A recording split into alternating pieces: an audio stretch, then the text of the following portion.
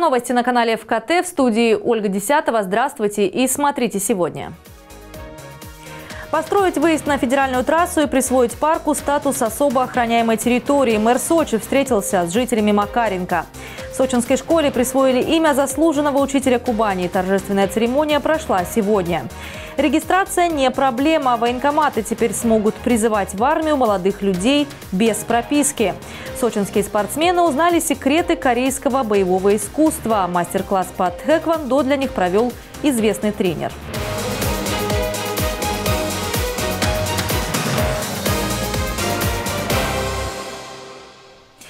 Построить выезд на федеральную трассу и присвоить статус особо охраняемой природной территории самому большому парку Центрального района. Мэр Сочи Алексей Копайгородский с рабочим визитом посетил микрорайон Макаренко. По словам градоначальника, проблем много и каждую необходимо решать сообща. Вместе с главами районов, правоохранителями и местными жителями мэр обозначил план действий на ближайшее время. Микрорайон Макаренко, улица Вишневая. В часы пик именно здесь начинаются многокилометровые пробки. Постепенно затор перемещается в центральную часть города, загружая улицу Конституции. При этом многие водители вовсе не стремятся в центр. Им необходимо попасть в Адлер или Хосту. Единственное решение – прямой выезд с верхней части Вишневой на трассу обход Сочи. Городское управление автодорог уже не раз обращалось с этой просьбой к собственнику полотна, однако в ответ приходил отказ. Они до сегодняшнего дня просто отказывали. Если они нам дадут... Что вы же знаете, вы же сам э, руководитель служите в этой, в этом направлении. Если одна сторона другую не убеждает в своей правоте, то никогда ничего не получается. Если мы просто отправили письмо без э, утяжеления, конкретики, просьбы и без приложения количества жителей, которые проживают здесь, и они э, попросили власть оказать содействие, ну, конечно, тогда нужно реагировать. Обозначив пути решения дорожной проблемы, мэр Сочи отправился в крупнейший парк Центрального района, который построили два года назад в честь 80-летия Кубани. Площадь сквера на Макаренко более 14 гектаров. Здесь расположились тропа здоровья, площадка с тренажерами и места отдыха. Местные жители полюбили парк и регулярно его облагораживают. Они просят мэра оградить зеленую территорию от строительства жилых домов и заведений общепита. Принципиально важная задача и задача губернатора Краснодарского края Вениамина Ивановича Кондратьева, чтобы все парки, скверы, которые любят горожане, они всегда были накрыты зоной ОПТ, чтобы ни у кого не было соблазна где-то что-то сделать. Все, что касается вопросов рекреации и восстановления здоровья, пожалуйста, пусть здесь будет спорт, пусть здесь будет восстановительные мероприятия, но вот э, строительство общепита здесь не нужно. Это вот место, э, поэтому должны быть такие парки. Пусть здесь люди занимаются спортом, бегают, ходят, дышат. Вот это самое главное. Также горожане хотят видеть здесь футбольное поле и детские площадки. Алексей Копайгородский поручил главе Центрального района проработать этот вопрос. Мэр Сочи отметил, что в парке необходимо установить дополнительное освещение и камеры видеонаблюдения. Помимо этого территорию должны патрулировать полицейские или казаки. Мы понимаем, что здесь а, большинство домов это многоквартирные дома, да. то есть люди выходят, им нужно где-то провести а, свободное время в нормальных условиях. И мы эти условия должны с вами создать.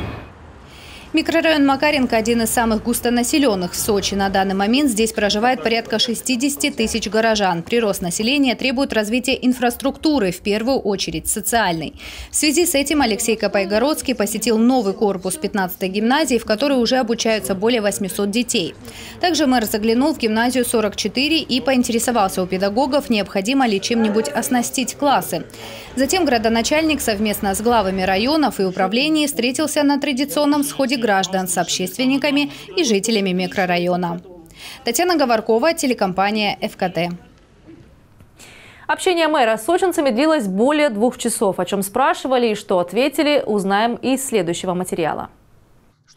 Это была первая встреча нового мэра с сочинцами. На сход пришли более 400 человек. И, кстати, среди них были и представители других микрорайонов – Мамайки, КСМ, Завокзального. Пока Алексей Копайгородский осматривал улицы и образовательные учреждения на Макаренко, сочинцы общались с руководителями управлений и департаментов муниципалитета, а также специалистами ресурсоснабжающих предприятий. На имя мэра горожане оставили 26 заявлений. Вопросов было много. И в основном все они проблемные. Например, говорили о неработающей ливневой канализации. Во время дождей дворы многих домов утопают в лужах. В микрорайоне много разбитых междворовых проездов. Скоро или такси не могут подъехать к домам. Были жалобы и у пожилых людей. Снесли остановку с города, и теперь у нас маршрут 43-44 не останавливается. А там у нас 6 домов шестиэтажных. Алексей Капайгородский пообещал, что автобусную остановку вернут, и это была не единственная проблема, которую удалось решить, как говорится, с колес.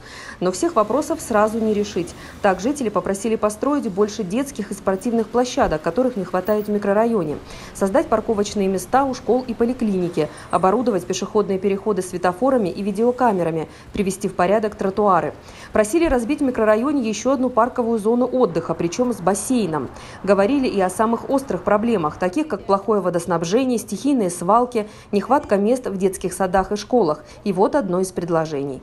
Где ЖК раз, два, три, там есть место построить и сад, и школу. Пожалуйста, решите этот вопрос вот с землей, потому что он реально решаемый. Алексей Капайгородский заверил собравшихся, что муниципалитет сейчас активно ищет участки для строительства новых детских садов и школ. Проводится масштабная ревизия земли. Мэр пообещал, что все предложения горожан не останутся только на бумаге. Чтобы что-то сделать, нужно финансирование. Чтобы было финансирование, должен быть проектно-сменная документация, экспертиза. Вы сейчас поручили нам вопросы, это все оформляется, появляется документация, эти все процессы запускаются. Программа на 2020 год, 2021, 2023 год будет состоять из, э, конечно же, всех ваших поручений, всех ваших задач. И это все обобщается, и в итоге у нас получается такая рабочая карта. Мэр пообещал вновь встретиться с жителями Макаренко через месяц, чтобы рассказать, что уже удалось сделать. Кроме этого, Алексей Капайгородский намерен каждую неделю по субботам выезжать в один из четырех районов Сочи и встречаться с людьми. Создадут и общественные советы, которые будут контролировать исполнение наказов горожан. Галина Моисеева, телеканал компании ВКТ. Полувековой юбилей отмечает ведущий спортивный вуз края. 50 лет исполнилось Кубанскому государственному университету физкультуры, спорта и туризма. Педагогов и студентов со знаменательной датой поздравили губернатор Краснодарского края Вениамин Кондратьев и заместитель министра спорта РФ Игорь Сидоркевич. За свою историю университет воспитал 30 олимпийских чемпионов и более 100 заслуженных тренеров России. За эти 50 лет поменяли страна и эпохи, но инфис смог сохранить свои традиции и методики обучения, отметил глава региона. Я уверен, что сегодняшний университет физической культуры, по своему духу, по своему содержанию. Это так, кузница спортивных кадров, не только с прославленными фамилиями спортсменов российских, а даже и мировыми фамилиями, известными всему миру, но и кузница тех учителей физкультуры, тех тренеров, которые сегодня создают спортивную славу нашей Кубани и России.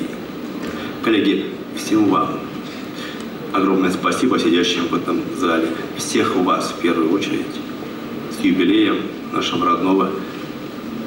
Я так и хочу сказать, инфиза, ну на самом деле, университета, праздника. ВУЗ э, начинался всего с одного факультета, 50 лет назад. И всего училось 150 студентов. А сегодня, сегодня мы говорим, что студентов учатся 5,5 тысяч до момента в стенах э, университета э, физической культуры и спорта, а за 50 лет он выпустил 36 тысяч, ну, скажу так, специалистов и прославленных спортсменов. Десятками, сотнями известных фамилий признанных высоким спортивным мастерством во всей России и во всем мире славится Кубанский университет физической культуры, и спорта. К этому юбилею университет подошел очень хорошо подготовившись. Это известный во всей стране центр э, высшего профессионального физкультурного образования. Это альма-матер участников и победителей Олимпийских игр, победителей чемпионатов мира и Европы. Вся Кубань сегодня гордится успехами и рекордами выпускников вуза. Новых высот студенты во многом добиваются благодаря своим педагогам и тренерам. Именно они формируют будущих олимпийских чемпионов, уверен губернатор. Все вы учителя, все вы, по большому счету, тренеры, наставники. А любой учитель, он живет в своих учениках. как и тренер.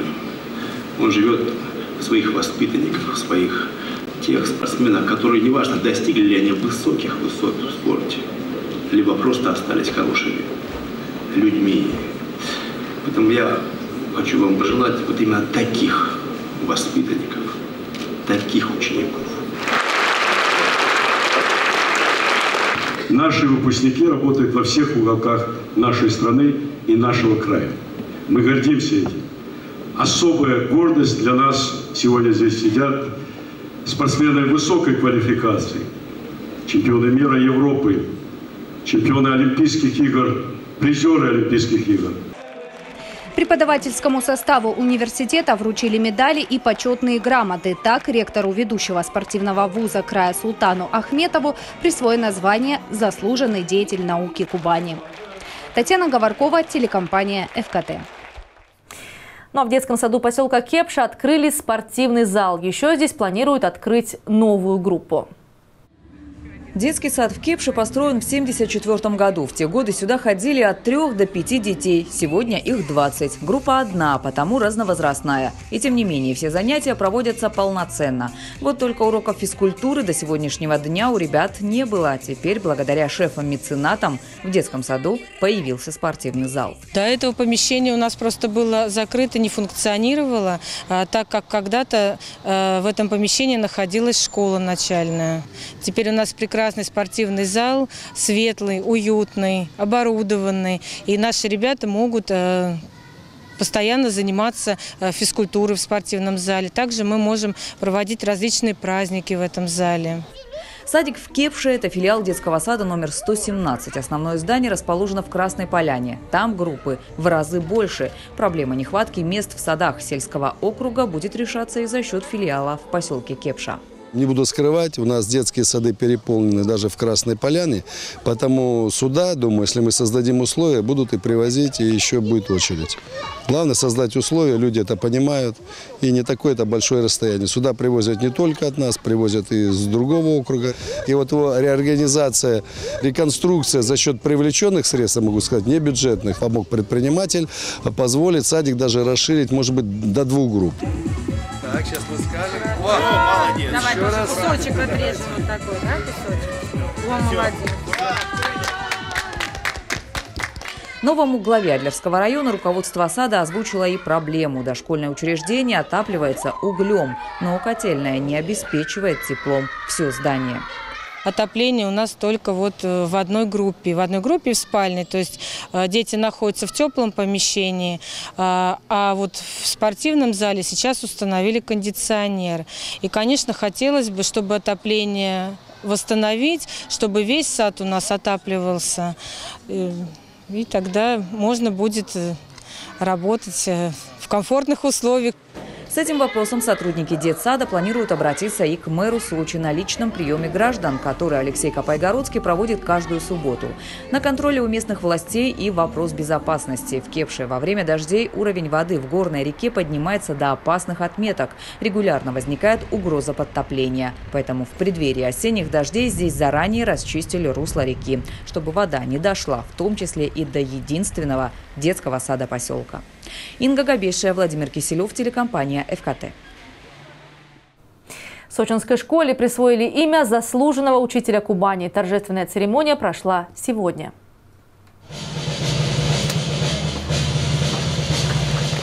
Тринадцатая школа на Ареде теперь будет носить имя Бориса Гагина. На фасаде здания появилась соответствующая мемориальная доска.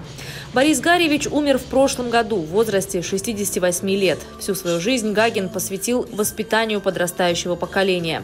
Его педагогический стаж – 40 лет, 30 из них он был директором 13-й школы.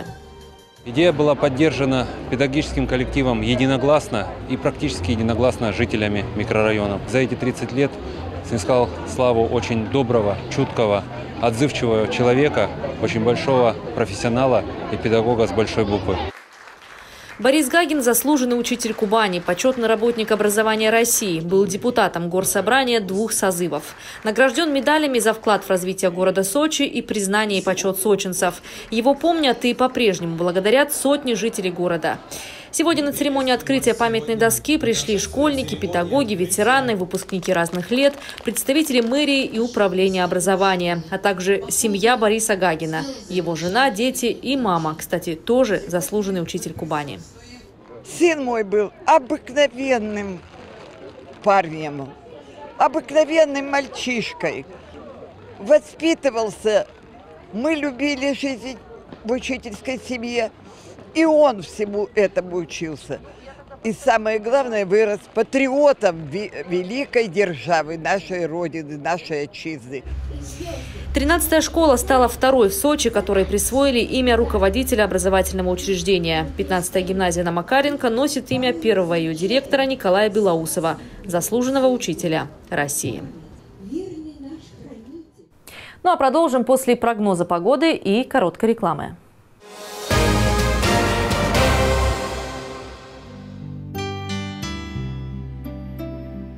21 сентября в Сочи переменная облачность, возможен небольшой дождь. Температура воздуха ночью плюс 10, плюс 12, днем 16-18 градусов выше нуля. Температура морской воды плюс 22. Сочи примет самый большой в мире форум журналистов. 21 сентября в Сочи откроется форум «Вся Россия». Детали предстоящего мероприятия обсудили сегодня в мэрии города. Глава Сочи Алексей Копайгородский встретился с председателем Союза журналистов России. Владимир Соловьев рассказал, что форум «Вся Россия» в этом году соберет порядка двух тысяч участников. В город приедут известные журналисты, общественные деятели, политики и предприниматели из разных регионов страны, а также зарубежные гости. Поэтому сегодня сочинский медиафорум можно назвать самым большим в мире. В этом году у нас очень значимый наш форум тем, что внутри нашего форума состоится заседание административного комитета э, Международной Федерации журналистов. Это крупнейшая, самая большая в мире, самая уважаемая журналистская организация, в которой входит 187 журналистских союзов, то есть 187 стран мира. Алексей Копайгородский отметил, что вся Россия – это одно из значимых для курорта мероприятий. В город приедут лучшие представители профессии. Все, что журналисты увидят, как проведут здесь время, об отдыхе и работе в Сочи они расскажут в своих регионах, в том числе в телеэфирах и на страницах своих изданий. Для нашего города честь принимать такое мероприятие. Мы все знаем, насколько правильно выстраивать диалог э, с журналистами, с представителями средств массовой информации, потому что только они могут правильно осветить деятельность любого уровня мероприятия. Мы постараемся создать условия, чтобы вы хотели на следующий год и на следующий год, чтобы это была фишка нашего города. Форум пройдет в Сочи с 21 по 27 сентября и станет 23-м по счету. Запланировано более 100 мероприятий. Это мастер-классы, пресс-конференции, обучающие семинары и кинопоказы. Военкоматы смогут призывать в армию молодых людей без прописки. В Минобороны разработали поправки в положение о воинском учете.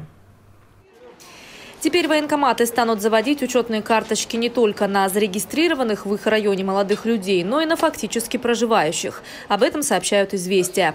Таким образом, оборонное ведомство, с одной стороны, исключит основной способ уклонения от службы в армии, а с другой молодые люди, имеющие проблемы с регистрацией, получат шанс поступить в военный вуз. Новые правила должны вступить в силу уже в конце года.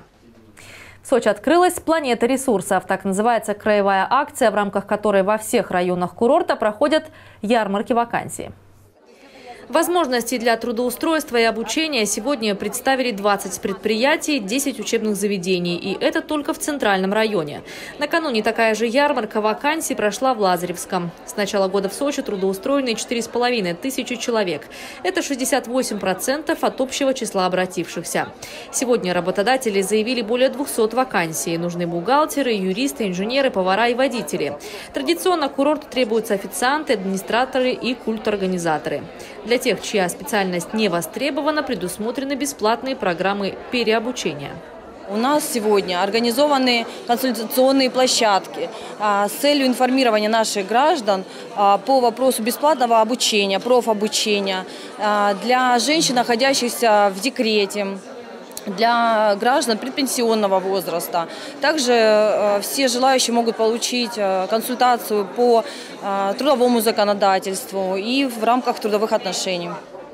В рамках этих программ уже приступили к переобучению 19 молодых мам и 14 пенсионеров, желающих вновь выйти на работу. Узнать подробнее о возможностях трудоустройства можно будет 24 сентября. Во вторник ярмарка вакансий «Планета ресурсов» пройдет в Адлере с 13 до 15 часов в районном Доме культуры.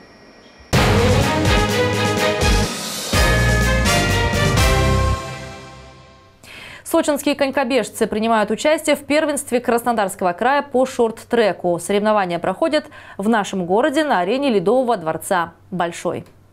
На этом льду ребята, которые всегда готовы вступить в гонку. Скорость, реакция, дисциплина и бесконечное движение вперед. Вот что удерживает спортсменов в этом виде спорта.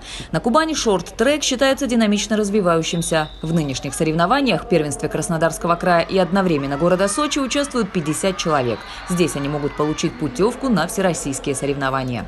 Первые четыре девочки и четыре юноши поедут на соревнования, где будут бороться с Москвой, с Подмосковьем, с Рыбинском. А, то есть э, это уже и у них вот будет отбор на финал первенства России. То есть есть за что бороться. Ребята на Кубани по мне очень перспективные. И характер у здешних ребят, и у девочек, ну, я бы сказал, нисколько не уступает сибирским характерам, которые у нас э, по всей России всегда. Вот сибирский характер. Вы пообщаетесь и посмотрите, как участвуют в соревнованиях южане, тогда будет э.